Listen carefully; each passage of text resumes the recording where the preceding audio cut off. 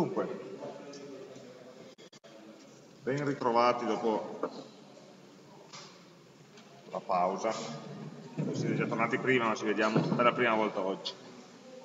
Oggi approfittiamo del fatto che lunedì mattina siamo tutti più svegli e ricettivi e cominciamo, diciamo così, una seconda fase del corso eh, cominciando a affrontare gli algoritmi un pochino più complessi di quelli che abbiamo visto finora. Fino, fino alla settimana scorsa di fatto abbiamo fatto un po' di complementi di programmazione, tutte cose eh, utili ma nulla di eh, totalmente nuovo. Abbiamo imparato a usare meglio degli strumenti che conoscevamo o comunque eh, non erano radicalmente diversi da altre cose che conoscete. Invece in questa seconda fase cominciamo invece a parlare effettivamente di algoritmi, quindi di metodi per risolvere problemi che a un livello intuitivo o semplice o artigianale o empirico eh, di solito non si riesce a risolvere, non si riescono ad affrontare, proprio perché richiedono delle tecniche di programmazione specifiche. E la prima di queste tecniche, che cominciamo a vedere oggi, che a parole ce la caviamo in 10 minuti, ma poi in realtà ci vorranno due mesi per scerare, è la cosiddetta ricorsione. La ricorsione è una tecnica molto semplice che però eh, permette di insomma, ottenere un livello di programmazione eh, abbastanza più complesso e vedremo che ci permetterà, eh, di fatto sarà eh, indispensabile per poter affrontare o risolvere problemi di una certa complessità, soprattutto problemi di ricerca o di ottimizzazione. Ma vediamo di cosa parliamo. Eh, oggi vediamo i primi due punti di questa scaletta, che vediamo la definizione e qualche esempio, poi andremo avanti, tra domani e la settimana successiva. Allora, cos'è la ricorsione, che cos'è una funzione ricorsiva, alcuni libri in italiano la traducono anche recursiva, esistono entrambe le forme in italiano, una, eh, una funzione, qui la definizione è cercata di darla in generale, quindi ho chiamato ho metodo, perché in Java ci sono i metodi, ma ho anche scritto procedura oppure funzione, dipende poi dal linguaggio di programmazione che usate, qual è la terminologia da adottare. Ma diciamo che un metodo è ricorsivo, lo chiamiamo ricorsivo, quando all'interno della definizione del metodo, cioè del codice che implementa questo metodo, c'è una chiamata al metodo stesso. C'è una funzione che al suo interno richiama se stessa.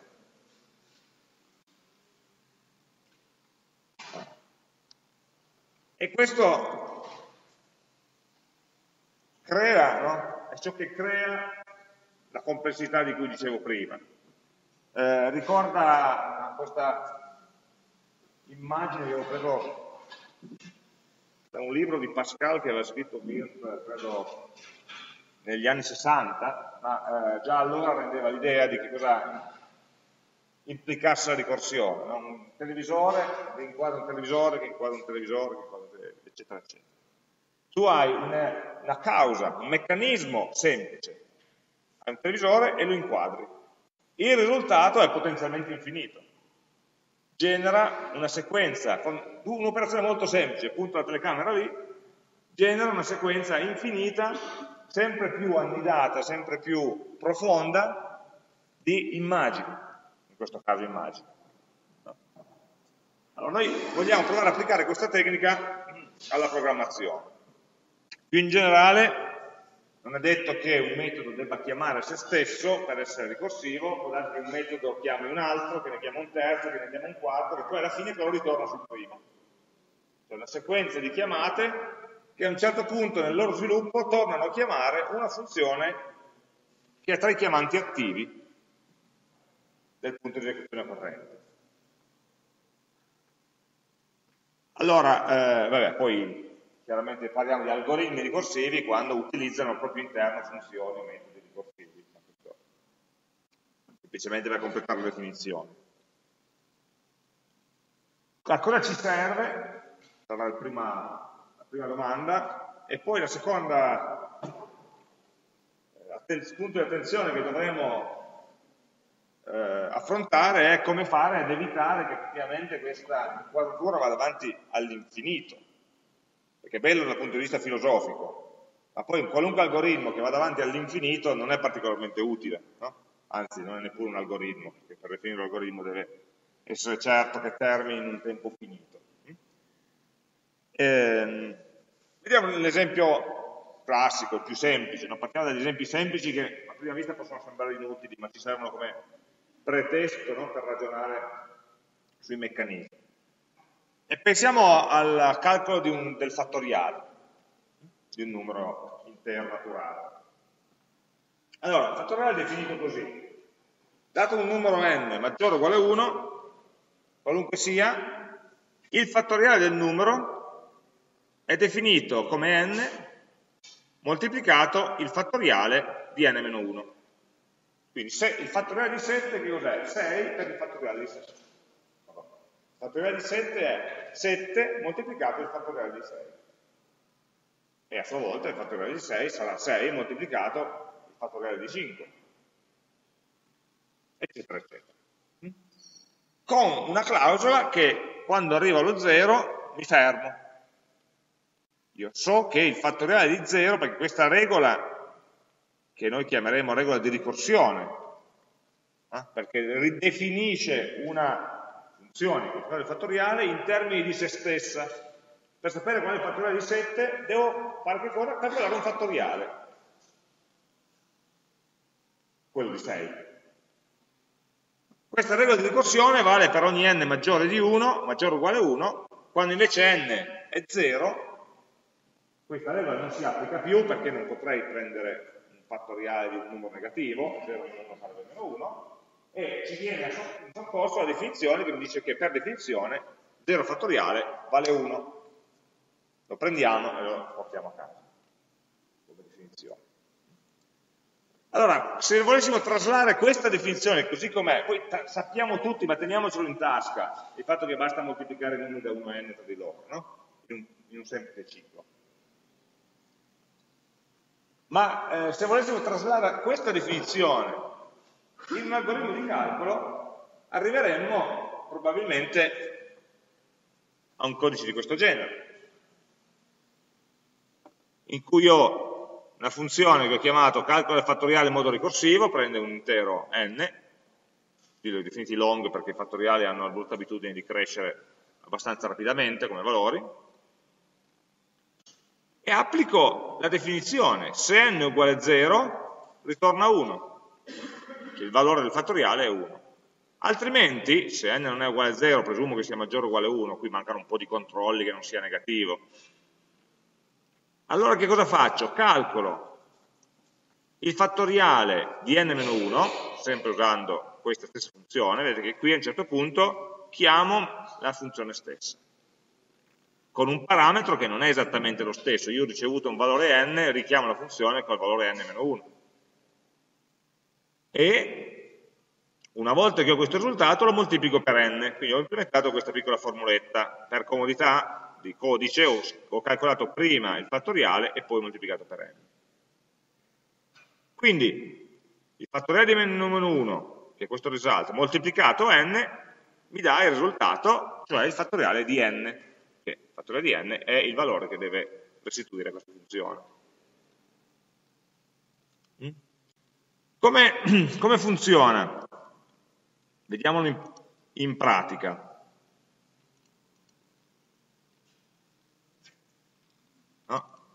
Questa è la nostra funzioncina.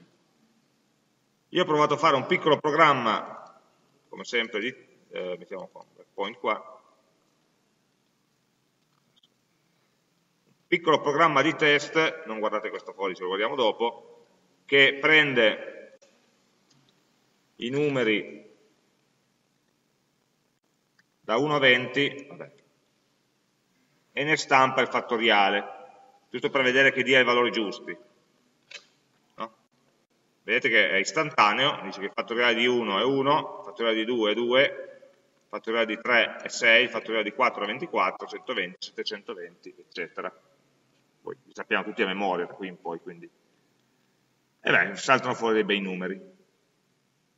Ma al di là del fatto che il numero sia corretto, vogliamo capire il meccanismo, come funziona. No?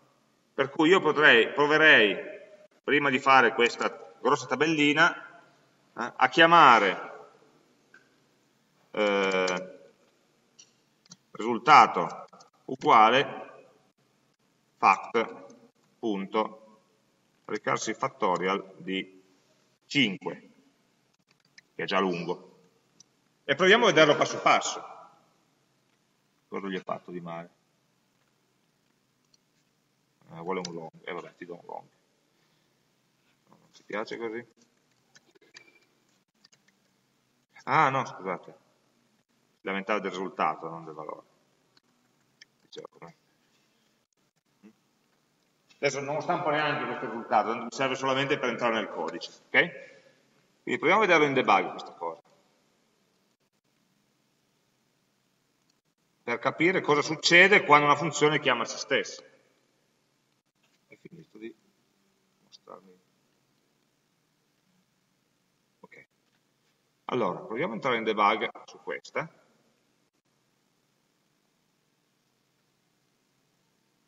Quindi sono qui, no? il programma è arrivato, il codice è arrivato qua, entro dentro la funzione e sono dentro il metodo fattoriale ricorsivo col valore di n pari a 5. È quello che ho chiamato. Vado avanti, if n uguale a 0 sarà falso e quindi entro qua. Qui cosa dice? Guarda, eh, prima di ritornare dalla chiamata fattoriale ricorsivo con n uguale 5, faccio, mentre questa chiamata è ancora in sospeso, non è ancora finito, non sono ancora arrivato al ritorno di questa funzione, di questo metodo, chiamo un altro metodo, che guarda caso sempre lui, con un valore che in questo caso sarà 4 presumibilmente, no? n-1. Allora, quando io vado avanti di un passo, entrando dentro la funzione, mi ritrovo sembra che il cursore sia tornato indietro, no? perché ero su questa linea qui e è tornato qua. In realtà non è tornato indietro nella funzione precedente? Ma ha iniziato un'altra chiamata iniziando ovviamente dall'inizio. Quindi noi abbiamo, visualizziamoci due istanze attive del metodo fattoriale. Una con n uguale 5 che era arrivata a questo punto e sta aspettando che la sua chiamata ritorni l'altra fresca fresca con n uguale 4, infatti se andiamo a vedere n qua vale 4. E qui l'elenco delle chiamate mi dice guarda il tuo programma è fermo dentro la funzione fattoriale alla linea 11, che è stata chiamata dalla funzione fattoriale alla linea 16, che è stata chiamata dalla funzione main. Mm? Quindi qui abbiamo un n uguale 4 che è diverso dall'n di prima è un'altra copia di se stesso che è stata attivata. E anche qui faremo la stessa cosa, andiamo avanti, n uguale 0 falso, e allora chiamiamo un'altra volta la funzione fattoriale con n-1 che questa volta varrà 3. E vedete che apro una nuova funzione, qui fa vedere l'elenco delle funzioni su cui sono fermo, sono fermo sulla funzione fattoriale alla linea 11, istanza della chiamata in cui n vale 3, che è stata chiamata dalla, fattoriale della linea 16, che è una copia in cui n valeva 4, che è stata chiamata da una fattoriale della linea 16, che è una copia in cui n valeva 5. Ogni volta che faccio una chiamata, questa chiamata ha una copia sua propria locale, privata, delle, ma normalmente ogni volta che chiamo un metodo lui ha una copia dei, dei propri parametri delle variabili locali. È una regola generale. Se questo metodo che viene richiamato è di nuovo se stesso, non importa, continua a valere la regola generale, lui ha una copia sua di n, di result e di tutte le altre variabili che servono. Siamo noi che ci perdiamo dopo un po', no? ci confondiamo, ma come il codice, il codice è sempre lo stesso, ma è su livelli di annidamento diversi, lo vedete qua, il debug ce lo fa capire, almeno fa di ogni sforzo per farcelo capire. E quindi possiamo andare avanti. Richiamo il fattoriale questa volta con n uguale 2, richiamo di nuovo il fattoriale questa volta con n uguale 1, richiamo ancora una volta la funzione fattoriale, perché questa volta considererà qualcosa di diverso, questa volta la funzione è stata chiamata con n uguale 0. Qui noi abbiamo in sospeso parecchi debiti, no? nel senso che questa, questa chiamata deve rispondere a questa, la quale dovrà restituire un risultato a quest'altra, che prima o poi dovrà restituire all'altra, eccetera, eccetera. Per ora abbiamo aperto tanti debiti, perché nessuno sapeva rispondere, perché ciascuna chiamata diceva ok, io ti so dire il fattoriale di 3, però aspetta un attimo che prima devo calcolare il fattoriale di 2. A questo punto, se vado avanti, if n uguale a 0 finalmente dovrebbe essere vero, e quindi questa chiamata questa qui, quella con n uguale 0, finalmente potrà ritornare il suo valore, suo risultato, 0 fattoriale uguale 1. Ecco, scomparsa una di queste, cioè è ritornata la più annidata, la più interna delle funzioni chiamate, e l'esecuzione ritorna dove? Ritorna dove l'avevamo lasciata, alla riga 16, no? della chiamata con n uguale 1 e questa volta so che results vale 1. N vale 1 e quindi avremo un 1, un bellissimo 1 per 1 che costituisce il nuovo risultato. Facciamogli fare questo calcolo difficilissimo e con 1 siamo pronti a dire che il fattoriale di 1, di n uguale 1, è 1. Siamo pronti a dirlo a chi? Beh, alla funzione fattoriale con n uguale 2 che sta aspettando. Quindi andiamo avanti. Ecco, di nuovo sono andato avanti di un passo, sembra che il cursore sia tornato indietro, in realtà non è tornato indietro, è, ho chiuso la funzione corrente e è tornato quella precedente, che era ferma due righe prima. A questo punto è n uguale 2, il risultato appena ritornato vale 1, e quindi posso moltiplicare 2 per 1 e ottenere come risultato nuovo 2. Quindi dirò che il fattoriale di 2 è 2 e lo dico a chi? Alla funzione madre che voleva calcolare il fattoriale di 3. E quindi a questo punto io so che result vale 2, cioè il fattoriale di 2 che è il risultato delle tre chiamate ricorsive interne che ormai si sono esaurite, hanno finito. Vedete che questa è una fisarmonica qua prima andavamo avanti, aggiungevamo chiamate su chiamate su chiamate in sospeso, poi finalmente quando qualcuno ha saputo dare un risultato, siamo tornati indietro a chiudere tutte le porte aperte, chiudere tutti i debiti in sospeso. E quindi qua il fattoriale di 3 sarà 6,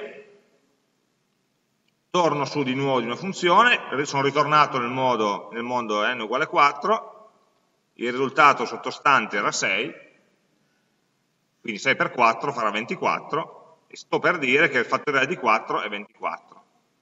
Torno finalmente alla mia prima chiamata, con n uguale 5, il risultato sottostante valeva 24, e quindi sono pronto a dire che il fattoriale di 5 vale 120. Mm? Se avete visto Inception l'anno scorso come film, è la stessa cosa. Ehm,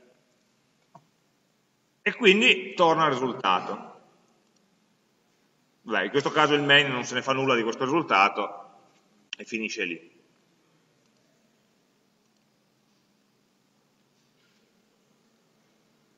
Allora, l'esecuzione è complicata. No? capire questo meccanismo. Questo, questo è le, le, quello del fattoriale l'esempio più semplice che si possa fare sulla ricorsione. Il bello è che il codice è molto pulito, è molto vicino alle definizioni. È chiaro che mai più ci saremmo aspettati che per calcolare 120 dovessimo chiamare annidate 6 funzioni una dentro l'altra, le quali facevano ciascuna un lavoro, permettetemi, molto banale, cretino quasi torna 1 oppure fai una moltiplicazione. È per questo la forza della ricorsione, ripetendo su scale diverse operazioni semplici, posso ottenere un risultato che è molto più complicato. Mm? Ehm, allora, proviamo a, pensare come in generale si può applicare questo metodo, no? questo, questa tecnica. Pensate che i primi linguaggi di programmazione vietavano l'uso della ricorsione, no? non era proprio possibile, dava errore. Poi per fortuna si è capito che serviva. Perché? Ma per, per due motivi. No? Eh, mm, il principale è che alcuni problemi, quando li descriviamo, si prestano naturalmente a essere modellati in modo ricorsivo. Cioè proprio quando ti spiegano una cosa, la soluzione più logica, più naturale, più diretta è implementarlo in modo ricorsivo. Quello del fattoriale è un po' artificioso. No, lo usiamo come esempio perché è facile da, da, vedere, da capire, non ha tante variabili in gioco. No? Poi vedremo qualche esempio più avanti che, in cui proveremo a fare chiederò di provare a immaginare di risolvere magari problemi molto semplici ma provare a farli senza, senza ricorsione e vedremo che sarebbe invece un gran mal di capo. Quindi ci sono dei problemi che sono, diciamo così, si, si prestano per loro natura no? a essere trattati con questo metodo. E il metodo, diciamo, l'approccio generale è cercare di prendere un problema Noi abbiamo visto il problema del calcolo fattoriale, ma pensiamo a qualcosa di più ampio, e cercare di dividerlo in tanti sottoproblemi, più piccoli dell'originale, ma possibilmente dello stesso tipo dell'originale.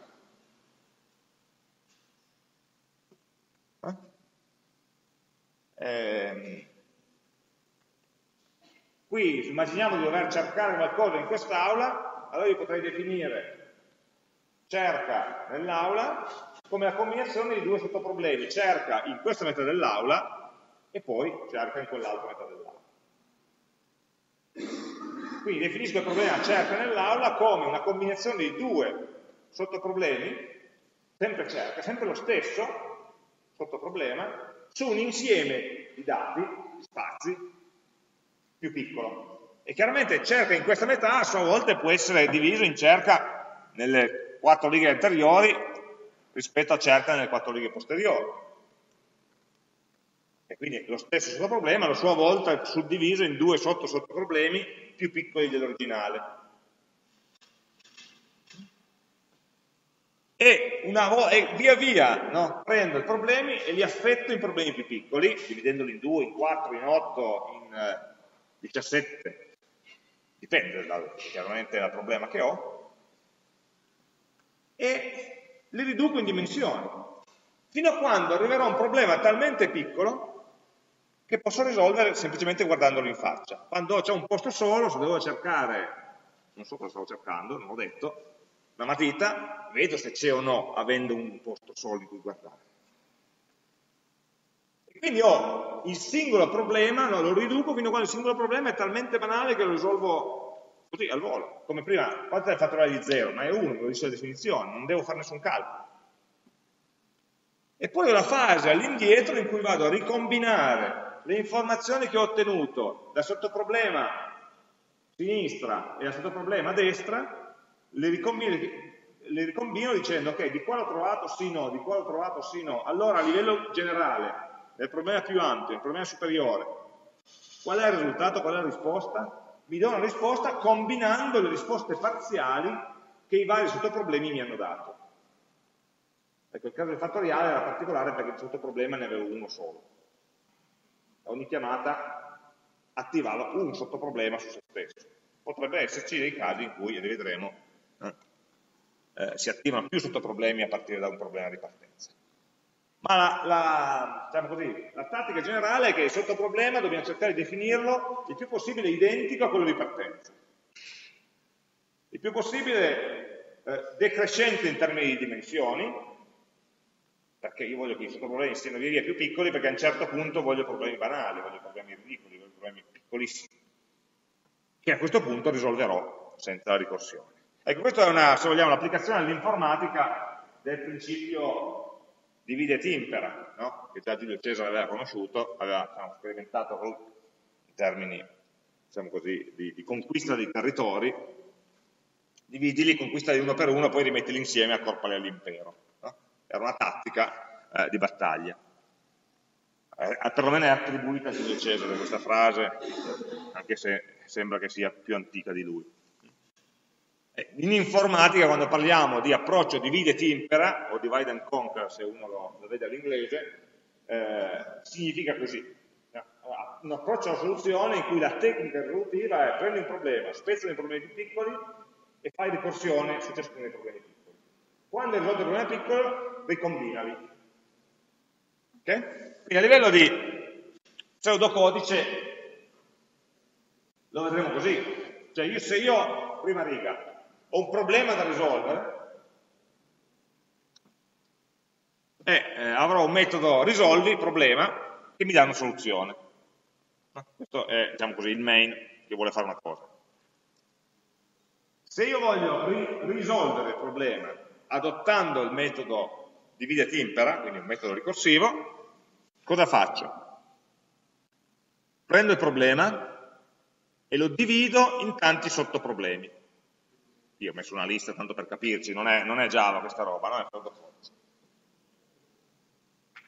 Come li divido? Eh, vabbè, metà del mal di testa sta qua. Come fare a dividerli in modo furbo? Dopodiché prendo i sottoproblemi uno a uno e su ciascuno di questi sottoproblemi calcolo la sottosoluzione iesima, data dalla soluzione del sottoproblema iesima. Queste sottosoluzioni vengono calcolate, diciamo così, indipendentemente l'una dall'altra, separatamente l'una dall'altra. 1, 2, 3, 4, 5, calcolo tutte le sottosoluzioni. Quando ho finito di analizzare tutti i sottoproblemi, devo prendere tutte le sottosoluzioni e ricombinarle insieme. Perché in realtà io devo rispondere alla domanda qual è la soluzione per il problema originario. E la ottengo combinando insieme le informazioni che arrivano dai sottoproblemi che ho risolto.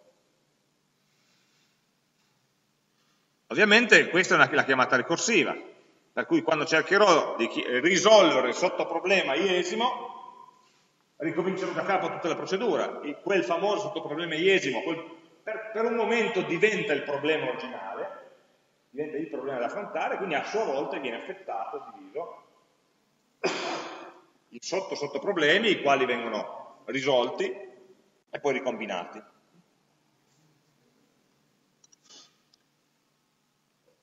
Questa divisione è ovviamente chiave, dividere in modo furbo. E diamo dei, dei, dei nomi alle, alle variabili.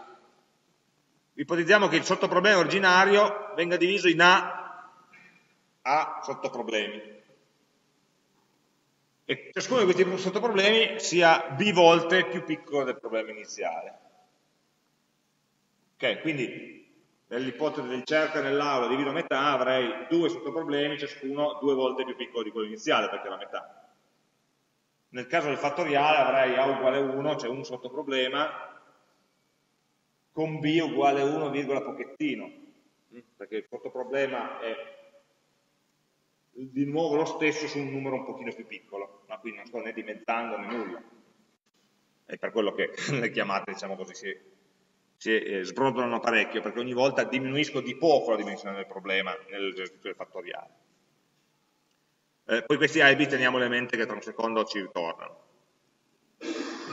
E questo è l'approccio generale, poi a seconda di quale sia il problema che dobbiamo risolvere si articola questo divide, che qua sembra una chiamata, magari è complesso, anzi spesso è complesso.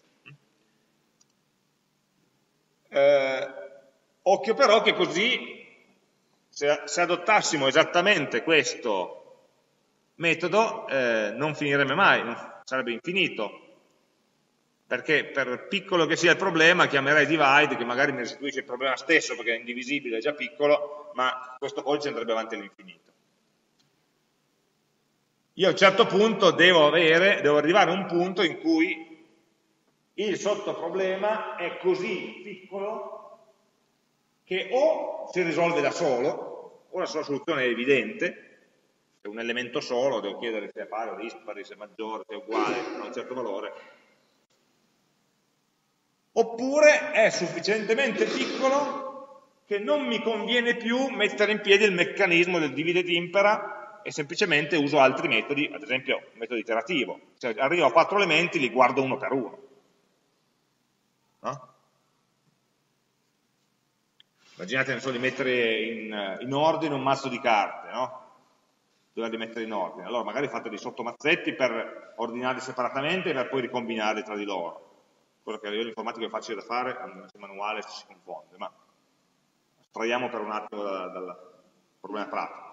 Ma poi quando hai un sottomazzetto di quattro carte, non sei così stupido da dividerlo in due e due e poi li ordiniamo separatamente. Le ho quattro, le ho in mano e le a posto. Semplicemente in modo, con un algoritmo, diremmo qua, magari iterativo, non più ricorsivo. Okay, quindi arriva a una certa dimensione del problema che o il problema è veramente minimo, non è più divisibile e allora probabilmente si presta già alla propria soluzione, oppure il problema è sufficientemente piccolo che non mi conviene fare ulteriormente ricorsione. Guardiamola qua, il nostro fattoriale, ma chi me lo fa fare? Stop. Cioè, noi ci abbiamo messo 3-4 chiamate ricorsive per calcolare il fattoriale di 1 o di 2. Vabbè, allora potremmo dire qui se n uguale a 0 ritorna 1, ma anche se n uguale a 1 o se n uguale a 2, cioè non devo necessariamente, la definizione matematica mi dice che devo arrivare fino a 0, ma l'implementazione magari no, no, magari non vale la pena di arrivare fino a 0, perché 0 fattoriale 1 e poi moltiplico 1 per 1 per ottenere l'1 fattoriale, eh, potrei fermarmi anche prima, mettere qua dei, delle trappole, no? dei punti in cui termino la ricorsione perché ho riconosciuto un problema che è facile da risolvere senza necessariamente andare fino alla fine. Ma in ogni caso, quando arrivo alla fine devo riuscire a fermarmi. Se poi riesco a fermarmi anche prima, magari mi conviene, forse, dipende. dipende bisogna valutarlo caso per caso. Quindi, eh, per essere sicuri che la ricorsione non mi porti a un'esecuzione infinita, un algoritmo infinito, devo essere sempre sicuro di due cose. Uno che ho valutato qual è la condizione di determinazione. Cioè devo aver trovato un caso limite verso cui tutti i sottoproblemi convergono, prima o poi. E quel caso lo risolvo con un modo che non sia la ricorsione. Ah, quindi la ricorsione deve terminare sulla risoluzione nota, con metodi diversi, di un problema sufficientemente piccolo, Problema a cui sono sicuro di arrivare con una serie di divisioni ulteriori, successive. E poi in queste divisioni successive devo fare attenzione che il metodo che uso per fare divisioni effettivamente riduca la dimensione del problema. E non capiti mai che magari nella divisione ho una divisione anziché metà e metà, zero da una parte e tutti dall'altra. La faccio male la divisione potrei fare così, allora la parte 0 da una parte la risolvo in un attimo, la parte tutti dall'altra mi, mi si ripresenta un livello di ricorsione inferiore lo stesso identico problema di prima, non un problema dello stesso tipo ma più piccolo, ma lo stesso identico problema di prima. E allora sono morto, perché eh, se è successo la prima volta, visto che il codice è lo stesso, succederà anche la seconda, la terza, la quarta, la dodici milionesima volta, in cui ripasso a me stesso chiedo a me stesso, ricorsivamente, di risolvere un sottoproblema che in realtà è identico al problema di partenza. Lì non esco mai. Occhio che è più facile di quanto non sembri eh, cadere in questo secondo problema. Mm? Quindi, ehm, la modifica, l'integrazione di quanto avevamo fatto prima della procedura solve deve tenere presente di un, uno o più testi iniziali dicendo beh se il problema a cui sono arrivato è banale allora qui ho inventato una funzione risolvi banale. Risolvilo in modo magari non è banale ma semplice ma diverso non ricorsivo. Altrimenti tutta, tutta questa parte gialla su sfondo giallo è esattamente il codice di prima Quindi la funzione ricorsiva, la prima cosa che fa va a vedere il problema e dice, questo problema voglio risolverti in maniera tradizionale perché sei piccolo oppure ti presti a essere risolto in modo tradizionale, non ricorsivo, oppure sei ancora troppo grosso e quindi ti affetto e ne riparliamo ai livelli successivi. Questo è lo schema generale hm, che applicheremo sempre. Ecco, adesso proviamo a ragionare, questo visto che è lo schema generale, a ragionare sulla complessità di questo schema. No, abbiamo imparato la settimana scorsa, dieci giorni fa, a fare qualche calcolo empirico, no? non formale, quindi in questo momento i matematici escono dall'aula, eh, non formale di valutazione di complessità. Allora, è bello, è elegante, no? è bello da raccontare sta roba, ma serve solo per far venire mal di testa o effettivamente può essere efficiente? Eh, vediamo. Allora, come possiamo impostare un'analisi di complessità di questa cosa? Allora, diamo un po' di definizioni. Allora, A e B li abbiamo già visti prima, no?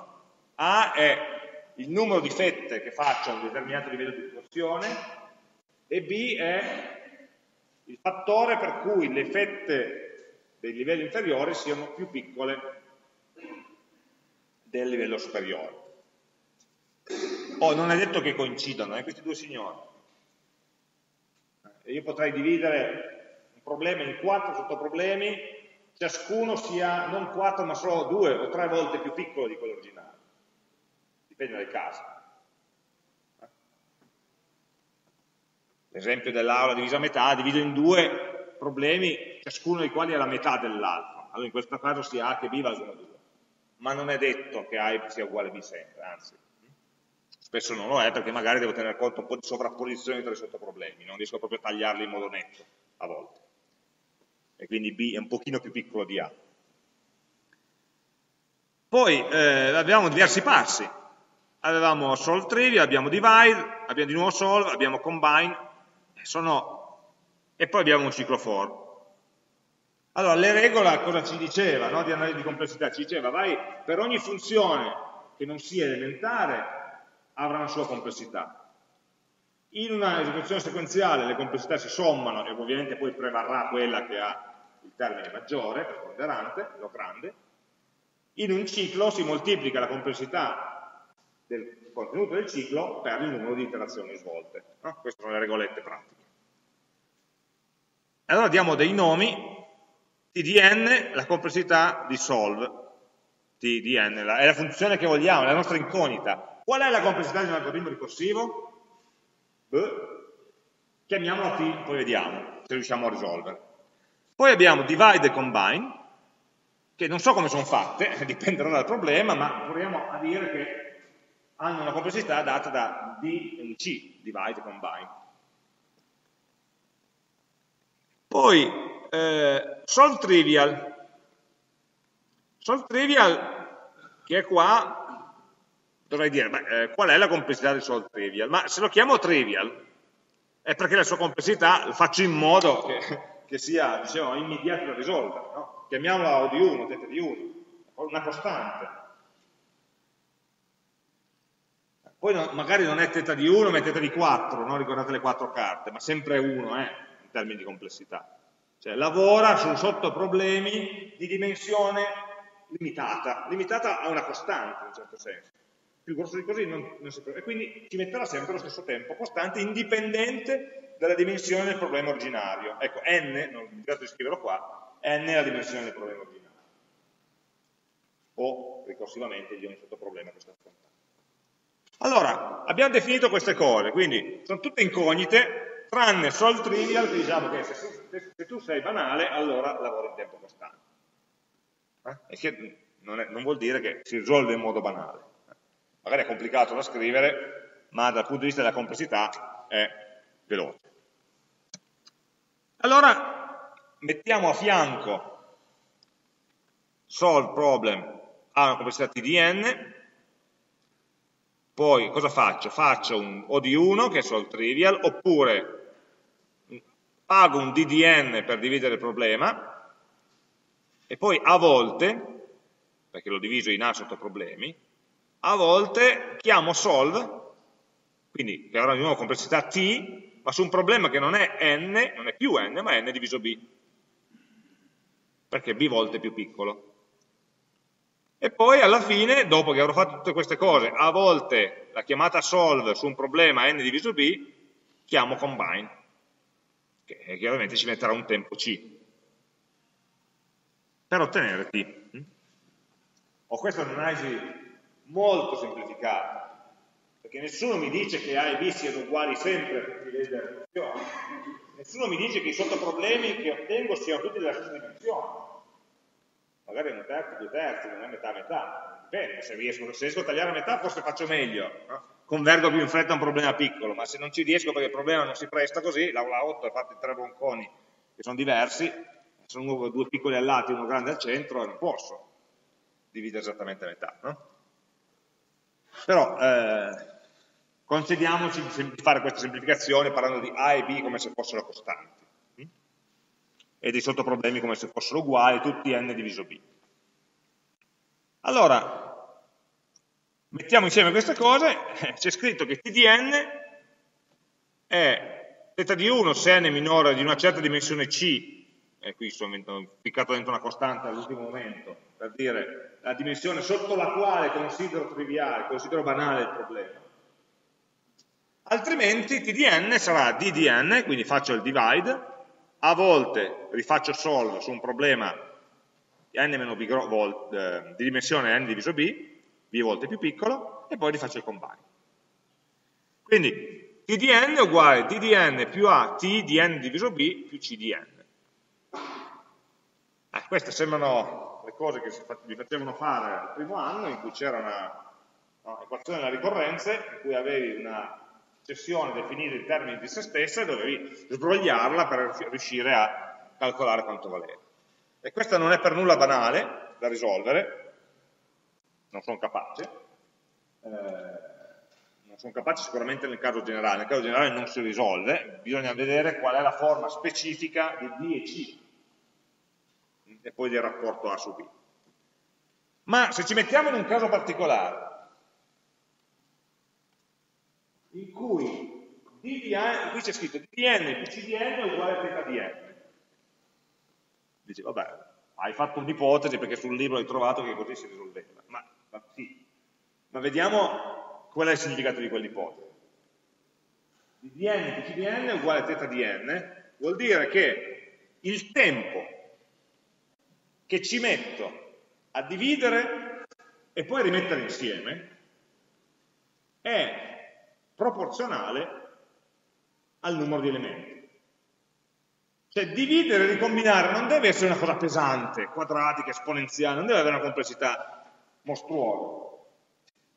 Perché se no spendo più tempo a dividere e ricombinare che non il vantaggio che mi potrebbe dare la ricorsione. Se l'operazione di divisione e ricombinazione vediamo che più pesante di un θ di n, cioè un loop, che va a vedere gli elementi uno per uno, li posso guardare in faccia uno per uno, c'è scritto θ di n. Non li posso confrontare tutti a coppie, sarebbe già un n quadro. Magari riesco a fare qualcosa ancora di meglio. Quindi potrebbe anche essere uno grande di n, magari non devo neppure vederli tutti, vediamo tra un attimo un esempio, in cui basta guardarne uno e non tutti, per poter dividere ma eh, questo risultato qui vale in quel caso.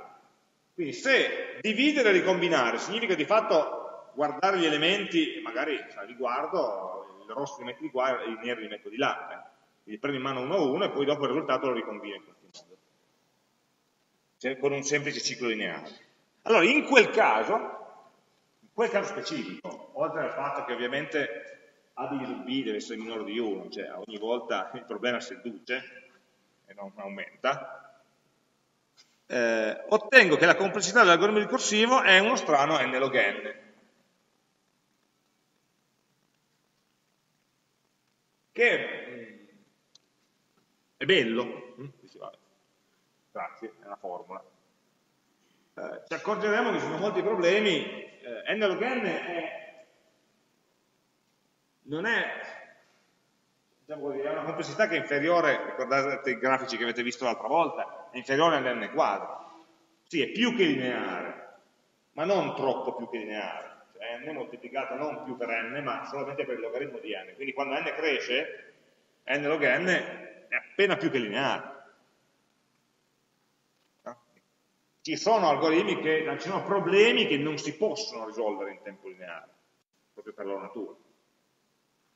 Eh, so, il classico problema di mettere in ordine, no, fare il sorting, mettere in ordine un certo numero di elementi, non si può risolvere in modo lineare.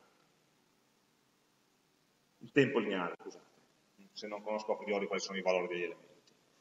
E se provate a guardare qualche algoritmo di ordinamento, ne faremo qualche cenno domani, quelli normali, quelli iterativi, hanno una complessità che sono n quadro, o perlomeno confrontare tutti con tutti, ciascuno con tutti gli altri per sapere se sono ordinati, o per sapere in che ordine mettere. N log n è di meno. Questo ci dice che, sotto queste ipotesi che non sempre sono verificate, ma per una certa classe di problemi sì, una soluzione ricorsiva, n log n, può essere più efficiente di una soluzione iterativa che quando non è un banale ODN, cioè guarda gli elementi uno per uno, come minimo n quadro. Se imposta dei cicli, dei loop, se non un ciclo va bene fa ODN, se ho già due cicli anidati fa n quadro, non la tolgo, in termini di complessità. Quindi la ricorsione non solo può essere un modo più elegante per impostare un problema o più vicino alla formulazione del problema, ma può essere anche un modo più efficiente che forse ci interessa anche di più. Noi andiamo a cercare due tipi di efficienze. L'efficienza del programma, cioè il programma vogliamo che sia veloce, sia in grado di trattare problemi di dimensione grande. Ma c'è anche un'altra efficienza che è l'efficienza di sviluppo.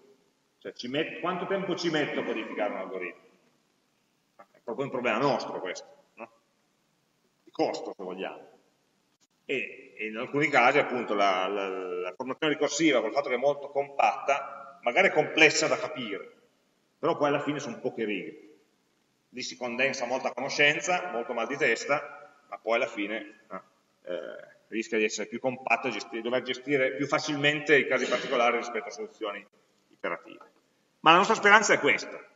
Non sempre, oh, non ho detto, non c'è scritto che gli algoritmi ricorsivi hanno complessità n log n. Ce l'hanno solamente sotto quelle ipotesi lì. Da verificare se, se, in quel problema lo sia. Dipende dai casi. Vedremo tra, tra, un, tra un, secondo un caso che è esattamente il contrario. Però nostra, questo risultato, diciamo così, teorico, ci dà una speranza. La speranza di una soluzione ricorsiva fatta bene sia più efficiente di una soluzione non ricorsiva.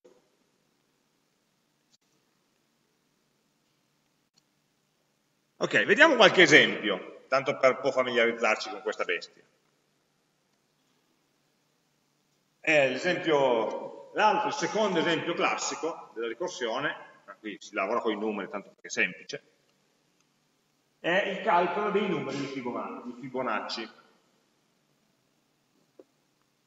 che uno di solito non ne ha mai sentiti fino a quando non fa esercizi di questo genere. Un numero Fibonacci Fibonacci ha inventato una serie di numeri che si ritrova in, in diciamo, una quantità impressionante di luoghi in, in, natura, tipo i petali dei fiori o lo sviluppo chiot della, della, chiocciola della, lumachina e cose di questo genere. Cioè, molti fenomeni naturali sono regolati da leggi di crescita che seguono questi numeri qua. È uno dei misteri della natura. Eh, C'è anche qualcosa di produzione dei conigli, se non sbaglio. Eh, Cosa dice? Beh, è una serie numerica i cui primi due elementi sono 0 e 1. Cioè il primo elemento, quello di posizione 0, vale 0, quello di posizione 1 vale 1. E poi si prosegue definendo l'elemento n più unesimo, successivo, come somma dell'elemento precedente e di quello ancora prima. Cioè Fibonacci di 2 sarà Fibonacci di 1 più Fibonacci di 0. Cioè 1 più 0. 2. Fibonacci di 3 è uguale a Fibonacci di 2, l'abbiamo appena calcolato, fa 2, più Fibonacci di 1, che vale 1. 2 più 1, 3. Quello successivo, 2 più 3, 5. Quello successivo, 3 più 5, 8. Poi abbiamo 8 più 5, 13. 13 più 8, 21. E abbiamo capito, no? Come va avanti. Allora, anche qua la definizione è scritta in modo ricorsivo. Sul libro di matematica lo vedete, ma questo qua è ricorsivo perché mi dice che il valore di un certo n si calcola richiamando di nuovo la funzione su valori di n più piccoli. In questo caso a uguale 2 perché ho due sottoproblemi. E allora proviamo a scriverlo. Vediamolo, vediamo direttamente sul codice qua così lo,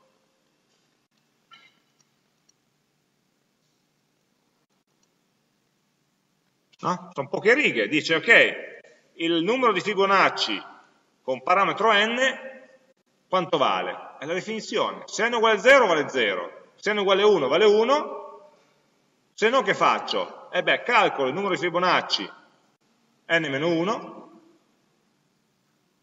calcolo quello n-2, cioè quello prima e 2 prima, e li sommo. Fine. Tre righe.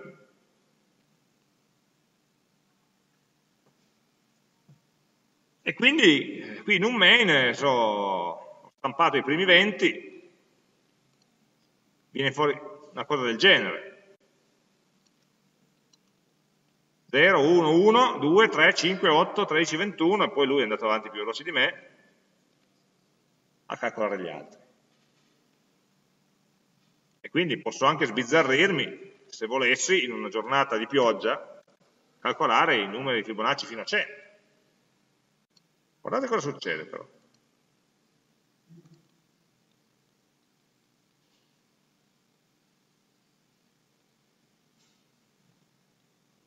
Non è più così veloce.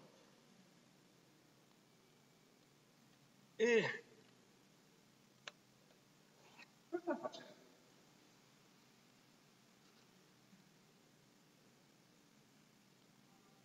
Alla faccia dell'efficienza e ogni volta mi sta facendo aspettare sempre di più. Qualcuno vuole contare i secondi?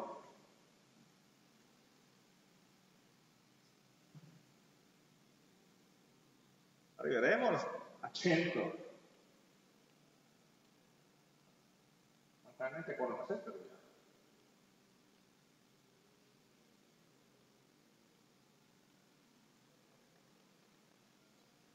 Ah, è arrivato.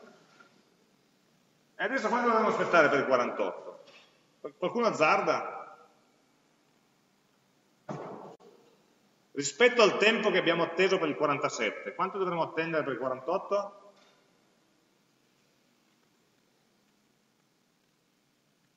La prima cosa che viene in mente è quella giusta. Il doppio. Adesso cerchiamo di capire perché. Ah, questo è un caso un po'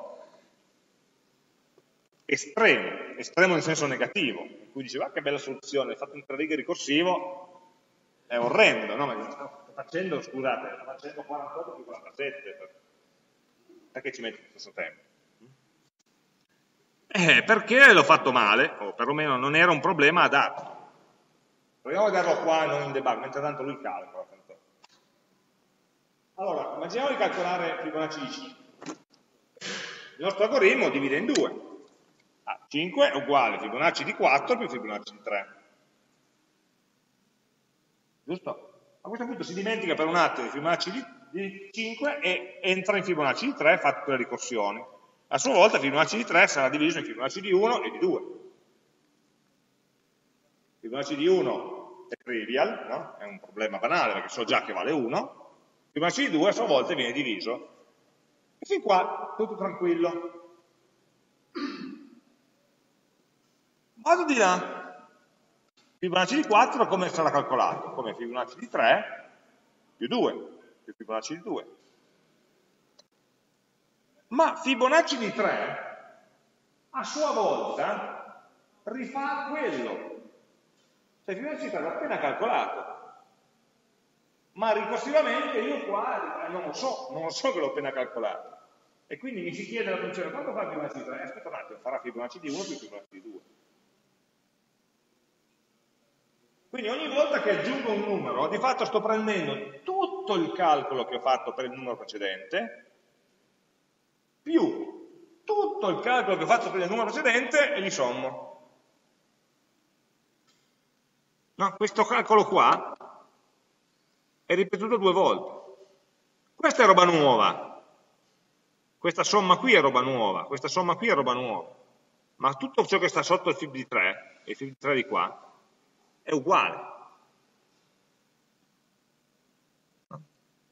E quindi questo mi porta di fatto un numero di calcoli, di chiamate della funzione, che è esponenziale. Non è esattamente 2 alla n, ma dell'ordine di 2 alla n, no? È uno grande di 2 alla n. Immaginate, per capirlo, immaginate di calcolare fib di 6. Fib di 6 sarebbe uguale a fib di 5, cioè tutto questo, più fib di 4, cioè questa parte qua di destra. Quindi il numero di nodi in fib di 6, il numero di chiamate, il numero di rettangoli in fib di 6, sarebbe uguale al numero di rettangoli in fib di 5 più quelli di fib di 4, che sono quasi la metà. Quindi è 1,5 volte più grande a span, eh? fib di 6 avrebbe un numero di chiamate circa una volta e mezza rispetto a quelle di fib quindi è un, un, un 1,5 alla n, con molte span. Ma il tipo di crescita è esponenziale. Ogni volta che salgo di un livello, non dico che duplico il lavoro, perché c'è una parte di lavoro nuova, ma c'è una componente di duplicazione. Questo è un caso in cui i miei famosi A e B, A vale 2, ma B non è maggiore di 2 sottoproblema B è praticamente lo stesso sottoproblema di partenza meno 1, quindi sarà B uguale, nel caso di, di, del 5, B è uguale a 5 terzi, e 5 quarti, rispettivamente nei due rami, quindi un problema che è un pochino più piccolo, ma non è la metà. Quindi ho diviso in due problemi, ciascuno dei quali non è la metà di quello originario, è più grosso, e allora alla fine ho peggiorato fatto del male. Questo nel frattempo sta andando avanti, è arrivato già a 50. Però capite che è un comportamento esponenziale, finché uno lo vede nel grafico dice, è esponenziale. Ma quando comincia a vedere sulla tua pelle dici, sì, ma dai, finiamo. Questo non finisce di sicuro, ma neanche entro oggi. Non solo entro la fine dell'ora. Perché ogni volta raddoppia. Arrivare a 100, siamo solo a 50, eh?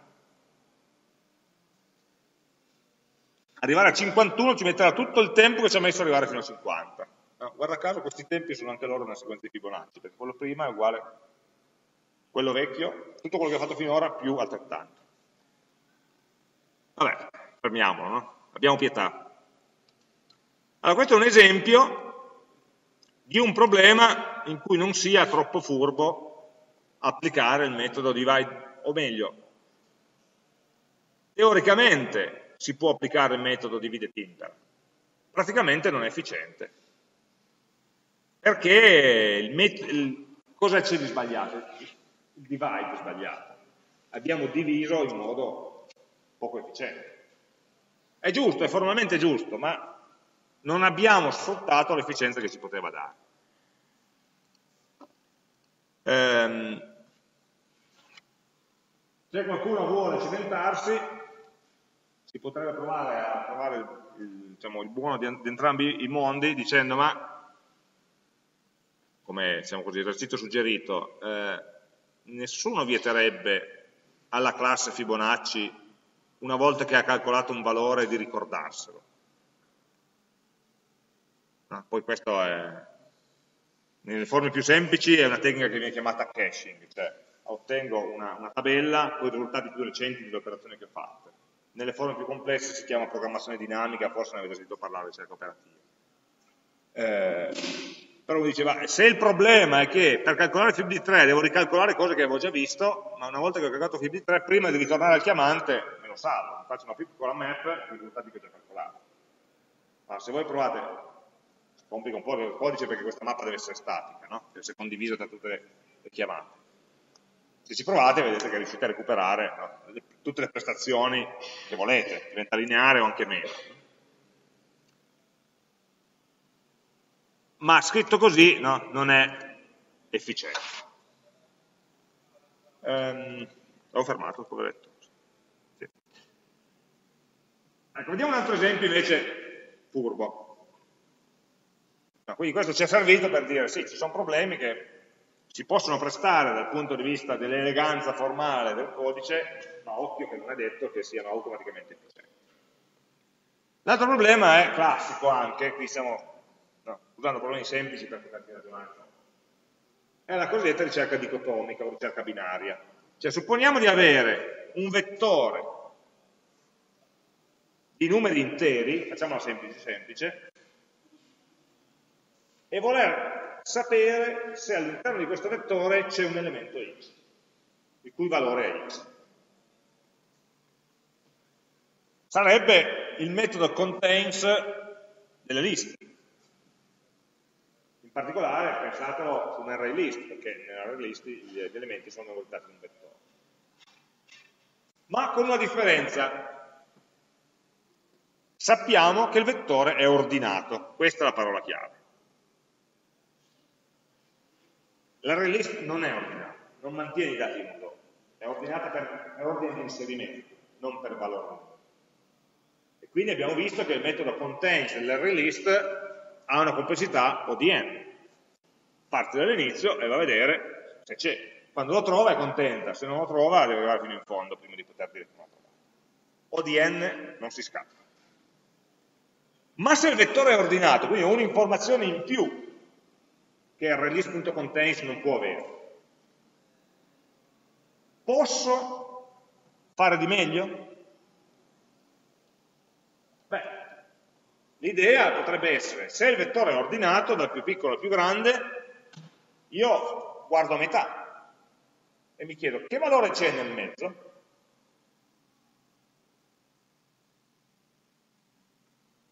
Questo valore che c'è nel mezzo è più grande o più piccolo del numero x che sto cercando? Allora, se il valore che c'è nel mezzo è più grande di x, vuol dire che x starà di sicuro nella prima metà del vettore. Il vettore è ordinato in modo crescente, a metà c'è un numero che è già più grande di quello che volevo io, beh, da metà in avanti di sicuro ci saranno numeri ancora più grandi e non mi interessa quello che sto cercando, se c'è, perché non so se c'è, è di sicuro nella metà di sinistra. Allora, questa idea la posso no, realizzare con una ricorsione. Dicendo, ok, io ho un vettore, ho un valore da cercare. Trovo il punto di mezzo, che poi nel caso in cui gli elementi siano pari non dispari non è che c'è proprio un punto di mezzo, ma ne prendo uno vicino. In questo caso vedete che l'elemento duro un po' più chiaro non è esattamente al centro, è un po' spostato a sinistra, perché ci sono otto elementi quindi non c'è un centro.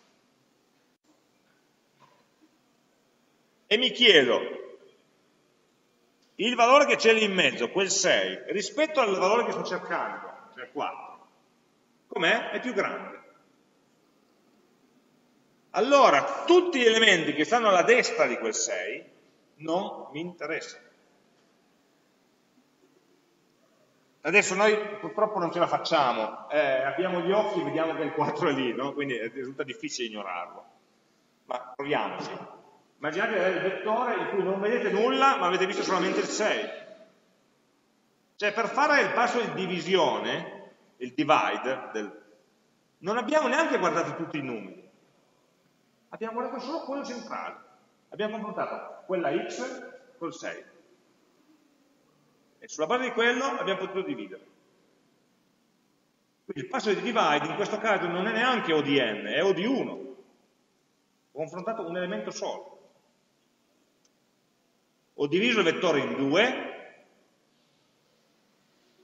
quindi ogni parte del vettore è metà di quello iniziale, quindi il nostro b vale 2, e il numero di chiamate ricorsive di sottoproblemi che analizzo è 1. perché delle due metà, una la guardo, l'altra no. Non vado a fare ricorsione nella parte di destra, dove sono sicuro che l'elemento non c'è. Ok, quindi abbiamo un esempio in cui il divide è O di 1, vedremo che anche il combine è O di 1, A vale 1, cioè fate ricorsione di un livello, ma con B uguale 2, cioè fate ricorsione ogni volta su un problema che è esattamente la metà, o circa la metà di quello di partenza. Quindi il passo di ricorsione che faccio è questo. Scelgo il punto di mezzo, vado a vedere il valore contenuto nella cella di mezzo e lo confronto con x. Se il valore centrato è maggiore di x, butto via la metà di destra e riprendo il problema nella metà di sinistra. Se il valore è minore di x, butto via la metà di sinistra e riprendo il problema nella metà di destra. E quindi una serie di applicazioni dice, ok, butto via la metà di destra e ho il vettore di sinistra. Prendo la sua metà a sua volta, che cadrà su questa cella azzurra, confronto 3 con x, questa volta è più piccolo, e allora dovrò buttare via la metà di sinistra e tenermi la metà di destra. E così via. Qui ho un vettore di due elementi, prendo la metà, che è il primo, e lo confronto con x, in questo caso è minore o uguale, è vero che è lui, ma siamo un po' orbi, siamo un po' tonti, non lo vediamo, qui c'è scritto se è maggiore o uguale, maggiore o uguale, sì, e allora butto via la metà di destra, mi resta un vettore di un elemento, o è lui o non è lui. Ciclo di terminazione è quando un vettore di un elemento solo o è x che stavo cercando o non lo è. E allora a quel punto lì non ho più bisogno di fare ricorsione. Quindi implementerei una cosa di questo genere dice prendo un vettore in cui devo cercare, prendo l'elemento da cercare e poi si porta dietro questi A e B che sono il punto di partenza e il punto di arrivo all'interno del vettore. Da dove a dove devo cercare? Il vettore ogni volta lo affetto, per efficienza non sto a costruire volta, ogni volta un vettore nuovo ricopiandoci gli elementi dentro. Tengo sempre lo stesso vettore e mi segno in due variabili intere quali sono gli indici del punto di partenza e del punto di arrivo del pezzo di vettore all'interno del quale sto cercando. Chiaramente la prima chiamata A è uguale a 0 e B è l'indice dell'ultimo elemento. Allora, il passaggio di ricorsione, che è quello più semplice, dice prendiamo il punto di mezzo, quindi A è l'indice di sinistro, B è l'indice destro, cerchiamo la media, A più B diviso 2, questi sono tutti interi, quindi fosse 7,5 sarà approssimato a 7, e che questo C indica la cella in azzurro chiaro dei disegni precedenti. V di C è il valore di quella cella e lo confronto con X. Se è maggiore di X, ricorsione, cioè butto, dicevamo, butto via la metà destra del vettore. Ok, diciamo cosa faccio, non cosa butto. Cerco l'elemento x nella metà sinistra del vettore. La metà sinistra del vettore inizia in A, cioè dove iniziava già il vettore, e termina in C, cioè nel punto di mezzo. Quindi vedete che io faccio una ricerca ricorsiva di x all'interno del vettore v, ma solamente sotto intervallo che va da A a C, non da A a B dal dall'estremo sinistro al punto medio. Altrimenti, se V di C fosse minore, butto via la metà di sinistra, dicevamo. Cioè, in altri termini, ricerco questo valore nella metà di destra, a partire dall'elemento C più 1 fino ad arrivare al margine destro che è B. Occhio a sto più 1, perché la prima volta che ho implementato questo esercizio per preparare una lezione, implementando senza copiarlo, avevo dimenticato quel più 1 lì e sono entrato in una di quelle maledette ricorsioni infinite, perché a un certo punto arrivavo a un vettore di due elementi e continuavo sempre a passarmi il vettore di due elementi, eh, perché sono, essendo numeri interi non reali, queste cose qua voi le avete viste il primo anno d'analisi quando facevate i problemi, no, i teoremi no, per bisezione, ma lì erano numeri reali, è tutto più facile. Qui con i numeri interi bisogna, stare attenzione, bisogna fare attenzione dove si approccia. Um, vediamolo solo funzionare.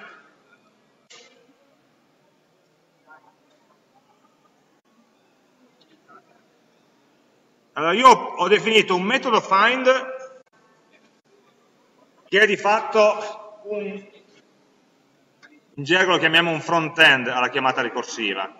C'è una funzione non ricorsiva ma che mi dà un'interfaccia più comoda della funzione ricorsiva stessa. C'erano quegli A e B che servono per la ricorsione, ma il chiamante che ne sa? Il main, cosa deve sapere? Allora io definisco un'interfaccia più semplice in cui dico ok, find in un vettore di una variabile che di fatto viene tradotto in un find vera e propria la funzione ricorsiva a cui imposto A uguale 0 e B uguale all'indice dell'ultimo elemento, cioè la lunghezza meno 1. E poi c'è la funzione ricorsiva vera e propria, che è questa. Ehm, ho definito un vettore che contiene un po' di numeri, itero per un po' di numeri interi, per ciascun numero intero cerco se in V c'è questo numero e il programma mi dirà che alcuni li ha trovati e altri non li ha trovati. Vabbè. Prima di dare via all'invasione di questi che sono fuori, qual è la complessità di questo algoritmo?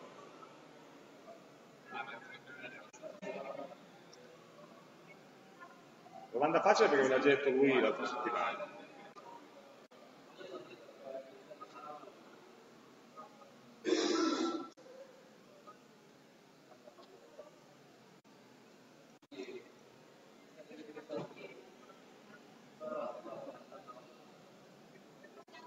Quante volte viene chiamata questa funzione? Se ho un vettore di 100 elementi, quante volte la chiamo la? Una volta un vettore da 100, poi una volta un vettore da 50, poi una volta un vettore da 25, una volta, non due volte un vettore da 50, è una sola volta. Quindi 100, poi una su 50, poi una su 25, poi una è. Quante volte in totale? Inizia con L, logaritmo base 2 di N. Su un vettore di 100 elementi la chiamo 7 volte. Su un vettore di 1000 elementi la chiamo 10 volte. su un vettore di 100.000 elementi la chiamo 17 volte. È un logaritmo, una complessità logaritmica. Log di n vuol dire che se ho appunto 10.000 elementi, o 100.000 elementi dicevo, ne guardo solamente 17. Tutti gli altri non mi servono. Solo perché il vettore ordinato posso farlo, eh?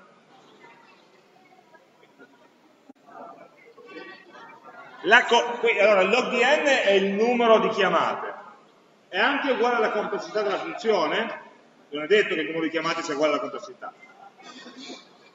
Lo è perché in questa funzione non c'è il ciclo, e quindi il tempo di esecuzione della funzione è O di 1. Quindi O di 1 per log n volte fa log n come tempo di esecuzione. Quindi abbiamo tutto. Abbiamo uno spettro che va dal calcolo del fattoriale ricorsivo che aveva una complessità ODN, lineare, tante chiamate quanto valeva n. Fibonacci che era un potentissimo 2 alla Questo è logaritmo di n, alla faccia del teoremino che ci diceva che ci sono dei casi in cui la complessità è n log n, ma non vediamo ancora il contrario. Quindi si può trovare di tutto. Questo caso è sicuramente molto efficiente. Continuiamo domani.